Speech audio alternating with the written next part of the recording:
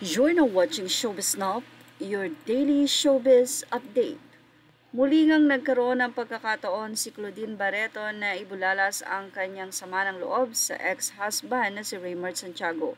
Ito'y matapos nga na bigyang diin nitong si Claudine Barreto ang sustento na napag-usapan nila sa korte na hindi nga nasunod. Ayon dito kay Claudine, maniningil na nga raw siya ng nasabing sustento ni Raymart para sa mga anak na sila Santino at Sabina.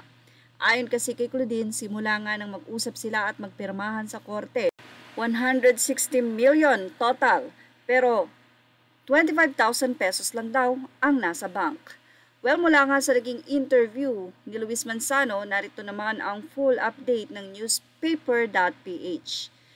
The Optimum Star has finally opened up about the cryptic post she shared in the past, explaining that her motive was to seek the rightful amount she deserves following her separation from Raymart Santiago.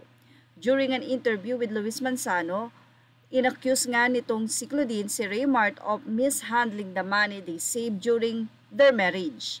Ayon sa kanya, ngayon sis malaki na yung mga anak ko, Sabina wants to study abroad, Santino is in Brent, and alam naman natin kung gaano kamahal nun, So parang since hindi niya nabibigay yung support na in order ng court, hindi na susunod, parang yun yung sinasabi ng mom mo, ipaglaban mo. Yan ang naging paliwanag ni Claudine. So this time, malaki na yung mga anak ko, in-explain ko na okay, we have to, kukunin ko na ulit kung ano yung akin, we're talking about hundreds of millions. Yan ang say ni Claudine. Dinagdag pa rin ni Claudine na involved in the issue ang 160 million sa isang bangko pa lang eh, was like 160 million. Isang bangko pa lang yon and iniwan was 25,000.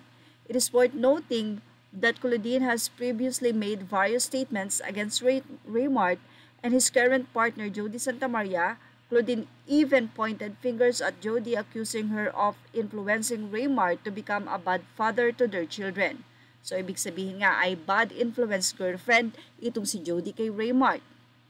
Claudine shared that her annulment with Raymart is still in progress, at according to her, her ex-husband consistently postpones the support deadlines and is making efforts to obtain custody of their children.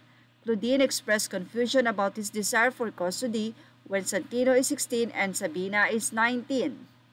Claudine recalled that she previously agreed to custody but she believes it may not be feasible in Raymart's new relationship She emphasized that it wouldn't be a positive influence on him compared the previous one. Yan nga ang ating Showbiz Snap update. Images are all credit to the rightful owners and thank you for watching Showbiz Snap.